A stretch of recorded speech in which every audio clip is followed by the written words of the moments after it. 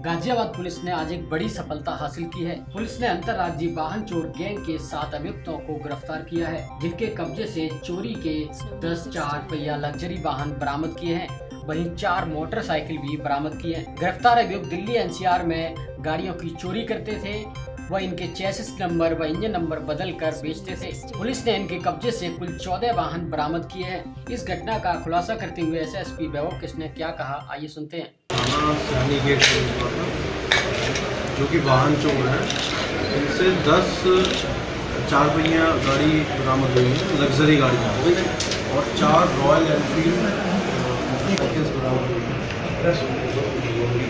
इनमें से कुछ अभियुक्त ऐसे हैं, जो मौके पे जाके चोरी करते थे, कुछ अभियुक्त ऐसे हैं, जो उसके खरीद फरोख्त में थे चोरी के वाहनों की टोटल सात अभियुक्त हैं, सातों ये गिरफ़्तार करके जेल में जा रहे हैं।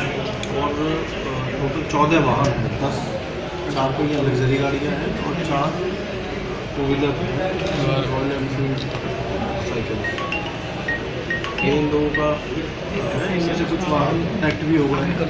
दिल्ली से कुछ वाहन इनमें से चोरी के थे जो कि कनेक्ट हो गए हैं। एक यहाँ साहिबाबाद शहनी के ही थाना क्षेत्र का वाहन था वो भी और बाकी प्रयास जारी और भी सर इनकी एक बार कनेक्टिविटी पूरी जोड़ दीजिए कि कौन क्या रोल करता था और पूरा ये सिस्टम कैसे चल रहा था? ये लोग वाहन चोरी करते थे और फिर बेच देते थे अलग अलग जगह। जैसे प्रकाश में आया कि कई जगह इन्होंने बेचे हैं चोरी के वाहन मेरठ में इलाहाबाद में।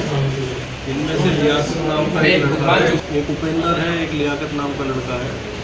जो कि एक्चुअल मौके पे जाके वाहन चुराते थे और उसके बाद और जो लोग हैं वो चोरी के वाहनों को दूसरे लोगों को बेच देते थे